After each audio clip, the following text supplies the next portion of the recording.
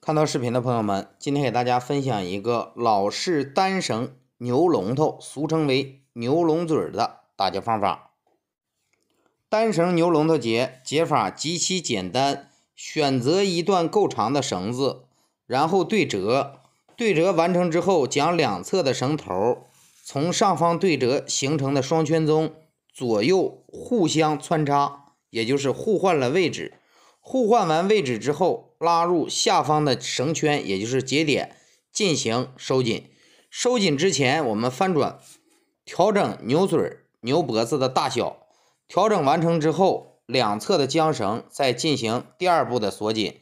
缰绳锁紧的解法也是极其简单的，给大家看一下。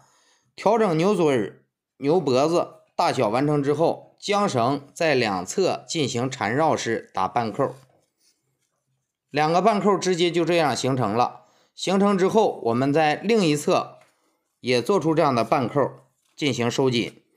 定型之后，这样一个单绳牛龙嘴就完成了。它的解法简单、快速实用。牛嘴、牛脖子两侧为缰绳，非常的简单，特别的安全牢固。